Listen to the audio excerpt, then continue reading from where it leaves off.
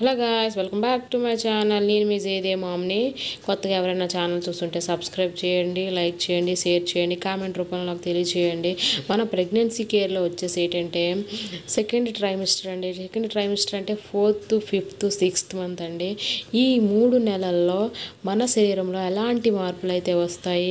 ఒకవేళ ఎలాంటి మార్పులు వస్తే మనం ఏ విధంగా ఉండాలో ఖచ్చితంగా అయితే ఈ వీడియో రూపంలో మీకైతే నేను తెలియజేస్తాను.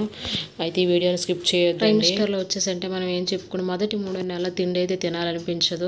సెకండ్ అంటే సెకండ్ టైమిస్టర్ వచ్చేసరికి ఏంటంటే మన బేబీ బొంప అనేది పెరుగుతూ ఉంటుంది. మనకి ఆకలి కూడా అదే విధంగా వేస్తుంది. బేబీ ఇక గ్రో అప్ అవుతూ ఉంటుందండి. అలాంటప్పుడు ఏంటంటే మనం తిండి అయితే సరిగ్గా తీసుకోవాలండి. హెల్దీ డైట్ అయితే తీసుకోవాలి. మనం తినే తిండి అనేది మనం తినే తిండి అనేది బిడ్డకి మన రూపంలో బేబీకి అనేది వెళ్తూ ఉంటుంది. అదే పిల్లలకు ఆరోగ్యం అండి. అదే బలాన్ని ఇస్తుంది. వెయిట్ గెయిన్ పెరగడానికి కూడా ఉంటుంది. అందుకే ప్రెగ్నెన్సీ టైంలో హెల్దీ డైట్ తీసుకోండి అని చెప్తూ ఉంటారు. మీకు ప్రెగ్నెన్సీ టైంలో హెల్దీ డైట్ ఎలా తీసుకోవాలో నేనైతే వీడియో రూపంలో చేశాను. ఖచ్చితంగా చూడండి. ఫోర్త్ మంత్ వచ్చేసరికి ఏంటంటే మన శరీరంలో ఏంటంటే చాలా మార్పులు చోటు చేసుకుంటూ ఉంటాయి. బేబీ పంపు పెరుగుతూ ఉంటుంది. ఆకలి ఎక్కువగా వేస్తూ ఉంటుంది. ప్రతిదీ తినాలనిపిస్తూ ఉంటుంది. ఖచ్చితంగా హ్యాపీగా ఎలాంటి దీనిలో రిస్ట్రిక్షన్స్ లేకుండా హ్యాపీగా మీకు నచ్చిన ఫుడ్ అయితే తీసుకోండి. మంచి ఫ్రూట్స్ తీసుకోండి. నెక్స్ట్ నట్స్ విటమిన్స్ మినరల్స్తో కూడుకున్న ఫుడ్ అయితే ఖచ్చితంగా తీసుకోండి. నెక్స్ట్ ఫిఫ్త్ మంత్ వచ్చేసరికి ఏంటంటే బాడీ ఉష్ణోగ్రత అనేది టెంపరేచర్ అనేది మారుతూ ఉంటుందండి.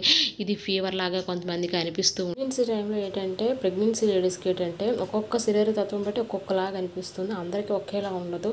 నెక్స్ట్ ఏంటంటే ఈ ఈ సెకండ్ ట్రైమిస్టర్లో ఏంటంటే తల్లికి ఏంటంటే గ్యాస్ట్రిక్ ప్రాబ్లం లాంటి లేకపోతే గుండె సం అంటే గుండె గుండెలో చిన్న నొప్పి లాంటిది అంటే ఇలాగే గ్యాస్ట్రిక్ పెయిన్ లాంటిది నెక్స్ట్ ఏంటంటే కాళ్ళ వాపులు నెక్స్ట్ కొంతమందికి వాంతులు కూడా ఉంటాయి. ఇంకా బేబీ పెరుగుతున్న కొద్ది నడువు నొప్పి కూడా అవుతుంది. నడువు నొప్పి కూడా ఉంటుంది. నెక్స్ట్ ఏంటంటే వైట్ డిశ్చార్జ్ కూడా ఉంటుందండి ఖచ్చితంగా.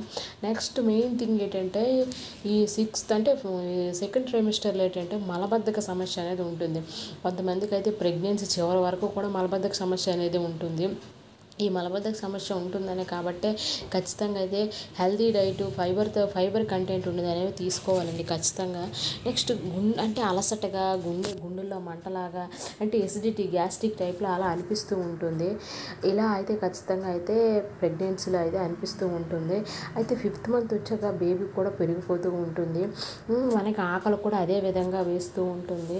ఇలాగా ఇలాంటివి ఏంటంటే మనం తినే ఆహారం అనేది చూసుకుంటూ ఉండాలి. ఎలా అందుకే ఏది కూడా ప్రెగ్నెన్సీ టైంలో కొద్దిపాటే తినాలి ఎక్కువ తిన తినాలని కూడా ఎక్కువ తినేయకూడదు.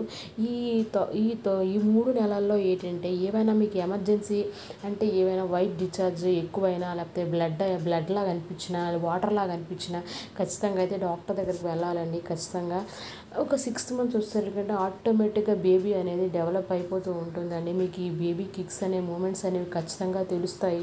కొంతమందికి ఫిఫ్త్ మంత్లో తెలుస్తాయి కొంతమందికి సిక్స్త్ మంత్లో తెలుస్తాయి.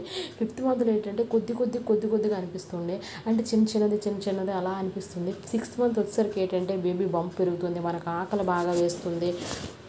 ఇంకా బాగా ఫుడ్ తీసుకోవాలనిపిస్తూ ఉంటుంది. ఇంకా నచ్చిన ఆహారం అయితే తినాలనిపిస్తూ ఉంటుంది. ఈ మంత్లో వచ్చేసి ఏంటంటే ఆటోమేటిక్గా సిక్స్త్ మంత్లో ఏంటంటే ఖచ్చితంగా అబోషన్స్ అయ్యే ఛాన్సులు ఎక్కువ ఉన్నాయండి.